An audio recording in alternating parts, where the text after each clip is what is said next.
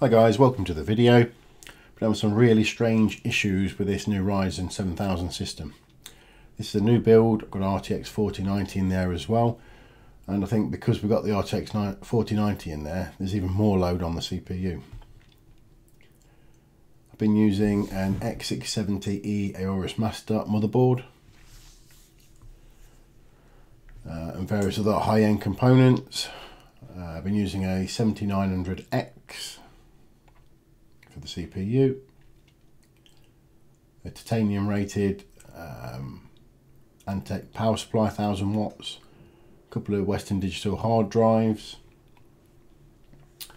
Some um, Trident Z memory. This is the CL30 stuff. Just go through one or two of the issues I've been having. Um, the system's not been loading Windows sometimes and crashing on the loading screen. I've been crashing in games, sometimes getting just a black screen and what appears to be a driver restart. So it's been a very frustrating build this one. And try and bottom out what was uh, wrong with it. It's proven uh, quite difficult. I've tried running the memory at 1.4 volts instead of 1.35. That didn't help. There we go, we've just crashed on this particular game.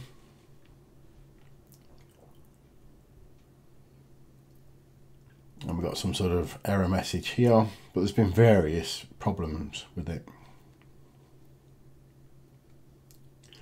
Right so the first thing to do is to look at your uh, memory and make sure the system is running running the, the actual memory at the right speed and the right timings. So here we're running at the right speed it's 3000 which is 6000 memory and it's running at CL30, 38, 38, 96, 134. It's that bottom one, the bank cycle time I think it is, the 134. The system when you restart it, if you don't manually type that 134 in, it will try and run it at 96. And I think that is the percentage of where my problems are. So if you go into your BIOS, put the Expo 1 on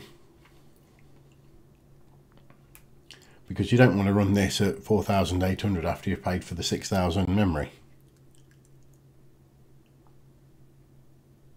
So if you go into the advanced settings, I would recommend actually typing all of these in manually uh, and then I'm sure all your problems will go away.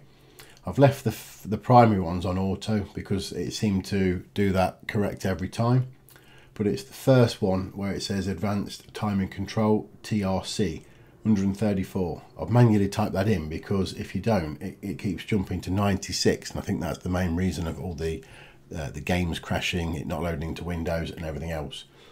Also, there seems to be some timings missing under the Expo 1 when you go further down. So I've just manually typed in uh, a load of timings uh, to make sure the system doesn't change them when you start restart the PC. Since I've made these changes and saved them to the BIOS, I've had absolutely no problems with uh, Windows not loading, games crashing and black screens. If you do still have problems with the black screens, you'll obviously have to slow the memory down or up the voltages.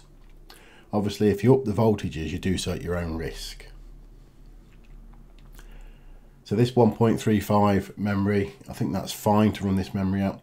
There's also some lower um, voltages you could potentially adjust where it's running at 1.25 potentially you could up that a little bit if you've still got problems with crashing or um, black screens.